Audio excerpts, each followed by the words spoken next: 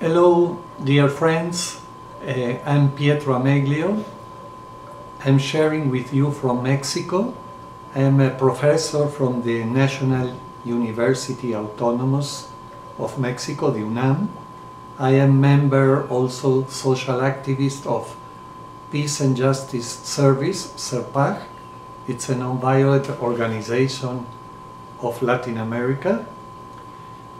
Uh, I've been also working in experiences of civil resistance in human rights, in ecological struggles from many decades.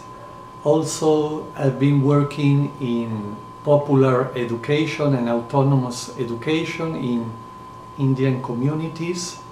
And we've been also part from 2011 from the Peace and Justice with Dignity movement of families of disappeared people in Mexico that started in 2011 with a very large and big uh, social movement of thousands and thousands of families of people that have been murdered or disappeared in this very bad named drug war that is crossing all our lives in Mexico and that in the last 10 years it has more than 42,000 disappeared people in numbers of the government and also more than 250,000 people killed. Uh, in my Spanglish I would like to share you something about this deep experience that we've had been having for the last three years in the Nonviolent Catholic Initiative, a, a group from all parts of the world of people that share the Christian faith and a commitment in war and peace building zones. And I think it has been a way of trying to recuperate the prophetical root of our church.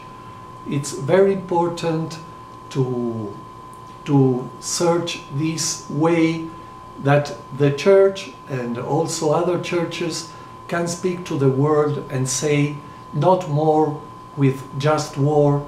We need just peace just dignity.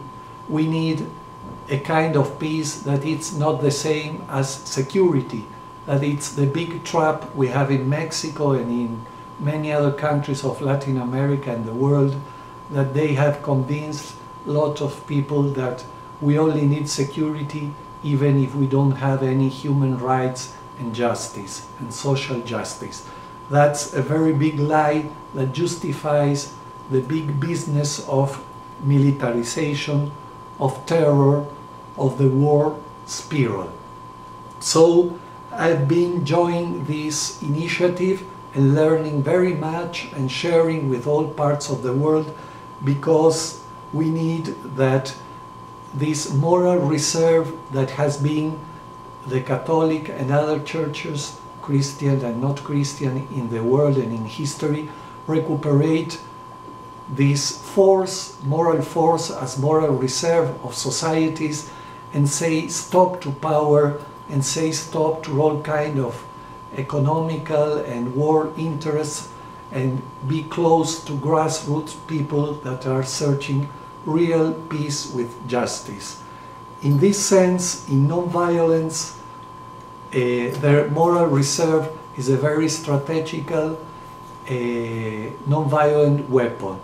And also, especially hierarchy of churches that have a social force in society that must be used to stop all kind of injustice.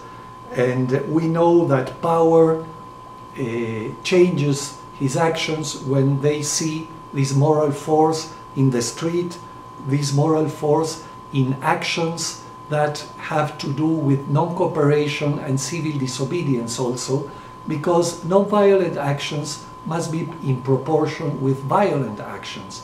And violence in, for example, Mexico is very high. So we can't stop that only with marches and uh, meetings, we must try with other kind of actions And in this sense, an encyclical is a very real moral weapon, non-violent, that we can use for showing how church and his hierarchy also, because grassroots are always there, is in the part of peace and justice. So let's be together and struggle for a more prophetical and clear church in just peace. Thank you. Goodbye.